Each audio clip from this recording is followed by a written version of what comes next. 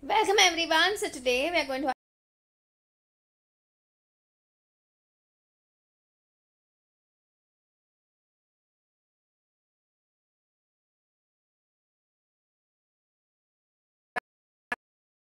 to figure out and then this is followed by 33.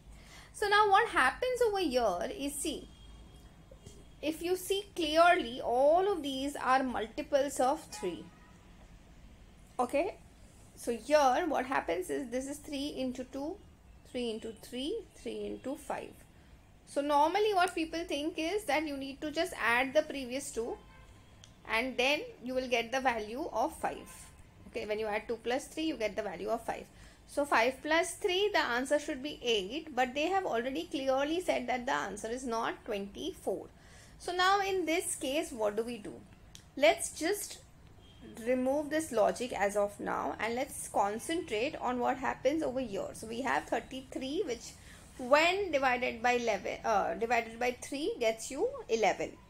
okay so basically 6 is multiple of 2 9 is a multiple of 3 5 15 is a multiple of 5 33 is a multiple of 11 and all of these are multiples of 3 okay so now in this case what we should do for this question mark if you see clearly all of these numbers okay all of these numbers are prime. And the number which prime number which happens to come between 5 and 11 is 7